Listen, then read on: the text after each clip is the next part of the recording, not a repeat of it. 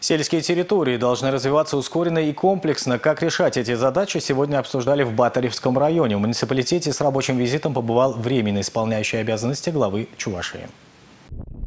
Шигарданы продолжают расширять свои границы. На западной окраине самого большого села республики за последние годы вырос целый новый микрорайон. Для большинства его жителей, исповедующих ислам, здесь возвели мечеть, 19-ю в муниципалитете, реализуя проекты комплексной компактной застройки. За счет бюджета к домам подводят дороги, тротуары и инженерные сети.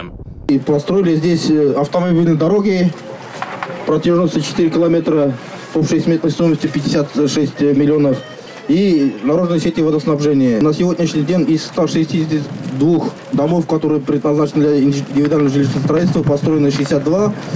Построено еще не введено в эксплуатацию еще 26 домов. Э, начали строительство 38 домов. В Батревском районе активно развивается сфера малого бизнеса. Этот мясоперерабатывающий цех был создан за счет грантов. Здесь производят халяльные продукты. Пельмени жениха. Мясо используем конины. Это у нас тутурма. Э, как колбаса идет. Крупно нарежем мясо, туда добавляем э, специи, вот эти соль, э, перец, чеснок. мед, чеснок. Конина как самое чистое мясо считается. Вот. Ну и вкусное тоже. Это покупаем частное мясо, то есть домашнее. Ну, не фермерское, а из подсобных хозяйств. Вот.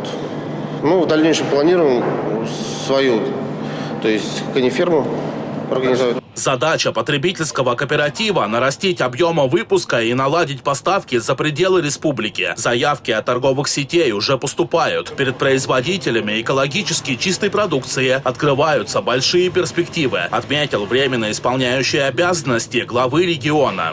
А мы со стороны государства однозначно будем помогать вот такого рода предпринимателям продвигать свою продукцию, в том числе э, через создание, возможно, своих собственных фирменных магазинов. Уже задание такое поставлено.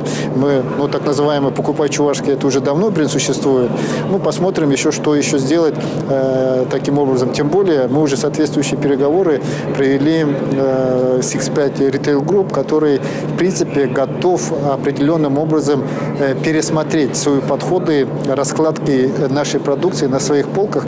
Переработка молока тоже становится выгодным бизнесом. В Шигарданском потребительском кооперативе наладили производство сливочного масла. Подобные проекты в Рио главы республики предложил тиражировать и в других муниципалитетах можем организовать дополнительные производственные площадки. Ну, допустим, просто это будет необходимо, допустим, может, здесь молока столько нету, да, там э, просто невозможно будет обеспечить. Ну, козье молоко, это специфика же, как бы, да, все эти не будут, все, все этим не будут заниматься, но при этом есть козьи фермы в Маргаушском районе, есть в других районах, правильно?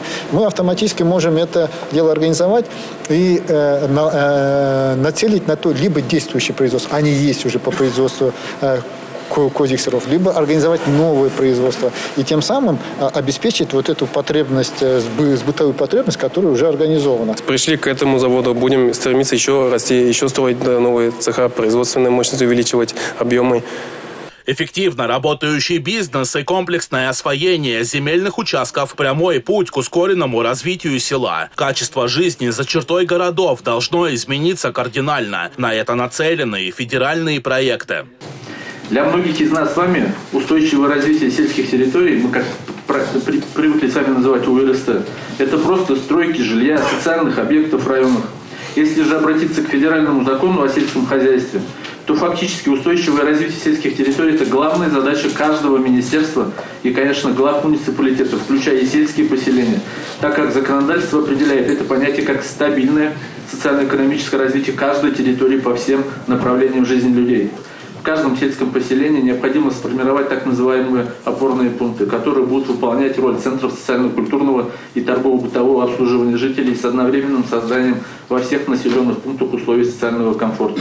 Районам, как воздух, необходимы инвесторы. Частично затраты предпринимателям готовы субсидировать из бюджета, но пока количество проектов, поступающих в федеральные ведомства, можно по пальцам пересчитать. Здесь многое зависит от местных властей, отметил председатель комитета Госдумы России. Причем сложилась очень хорошая ситуация, когда деньги есть в федеральном бюджете, в министерствах. Я с Федором Николаем Васильевичем много обсуждал ситуацию, он размахивал руками, разводил руками и говорил, что вот такие возможности, к сожалению, ну, не используются.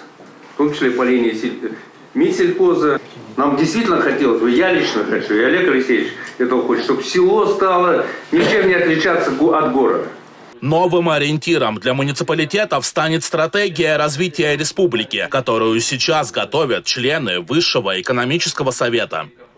Уже в этом году у каждого муниципалитета должна появиться своя программа комплексного развития сельских территорий. Эти документы будут гарантировать получение субсидий из бюджета. Ключевая задача в этой работе – создать комфортные условия жизни для тех, кто проживает за чертой городов. Дмитрий Ковалев и Павел Редков. Республика.